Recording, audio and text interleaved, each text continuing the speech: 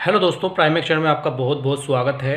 दोस्तों, ये आज वीडियो में कोई चीज़ आपको या कोई चीज़ रिपेयरिंग के बारे में सिखाने के लिए नहीं बना रहा हूँ। ये आप देख रहे हैं, आज मैं अपने घर पे ही हूँ और 22 तारीख से मैं अपने घर पे ही हूँ। तो आपसे मेरी अपील है, आपसे मेरी विनती है दोस्तों, ये ज़िंदगी बहुत अनमोल है और किसी के लिए बहुत ज़्यादा ज़रूरी है आपकी ज़िंदगी।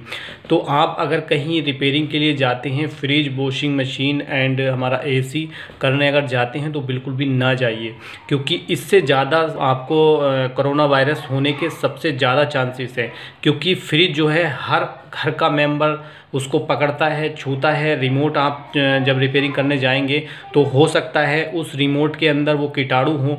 तो ऐसा बिल्कुल भी ना करें और मैं चाहता हूँ कि आप कुछ दिन इकतीस मार्च तक आपका घर पे रहना बहुत ही ज़रूरी है और घर से बिल्कुल भी बाहर ना निकले, क्योंकि लालच एक ऐसी चीज़ है मेरे दोस्तों कि ये आपको खींच के ले ही जाएगी। अगर हो सकता है कि आपका कस्टमर फ़ोन कर रहा है कि मैं आपको ज़्यादा पे करेगा तो आप जाने के लिए तैयार भी हो जाएँगे, क्योंकि लालच ऐसी चीज़ है और पैसों की ज़रूरत किसको नहीं होती है। मेरे को भी है, देखो मैं घर पर ही बैठा हुआ हूँ, काफ़ी दिन हो चुके हैं, बाईस तारीख से मैं घर पर ही बैठा हुआ हूँ, ना शॉप पर गया हूँ और ना जो बंदे काम करते हैं, उनको भी मैंने मना कर दिया है कि आप अपने घर पे ही रहें।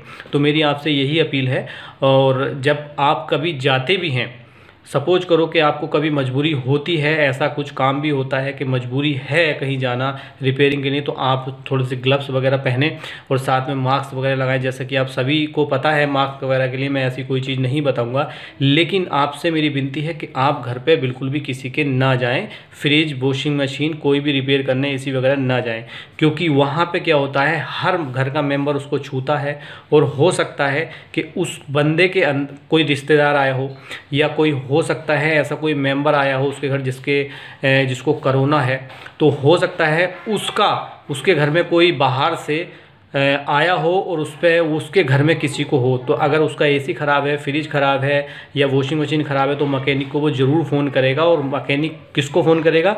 जिसको वो जानता हो, जो उसके रिलेशन में हो, उसी को फ़ोन करेगा। और रिलेशन में कौन होगा? आप भाई में से कोई होगा रिलेशन में। रिलेशन में कोई होगा तो वो आप ही को बुलाएगा और आप वहाँ पर जाएँगे तो आप उसका बटन भी छूएँगे, आप एसी का रिमोट भी छूएँगे और जब आप फ्रिज को रिपेयर करेंगे तो उसका दरवाजे भी छू, पकड़ेंगे या छूएँगे। तो हो सकता है मैं मैं ये नहीं कह रहा कि हो जाएगा आपको लेकिन अगर आ, उसमें करोना उसके घर पे हुआ तो ज़्यादा चांसेस हैं आपको होने के। तो प्लीज़ प्लीज़ दोस्तों मेरी आपसे रिक्वेस्ट है ज़िंदगी बहुत अनमोल है। आपकी ज़िंदगी आपके लिए अनमोल ना हो लेकिन आपके बच्चों के लिए आपके परिवार के लिए आपकी बीवी के लिए आपकी माँ के लिए आपके भाई भाई बहन के लिए बहुत ज़रूरी है दोस्तों। आपके लिए भले से ना हो लेकिन किसी और के लिए बहुत ही ज़रूरी है। क्योंकि फ्रेंड ये कोरोना जो है बहुत ही ज़्यादा खतरनाक हो चुकी है और ये हमारे मैं चाहता हूँ कि हमारे इंडिया में बिल्कुल भी ना आए और जहाँ हो रही है ये कोरोना, वो जल्द से जल्द वो सही हो जाए। आप भी दुआ कीजिए, प्रार्थना कीजिए।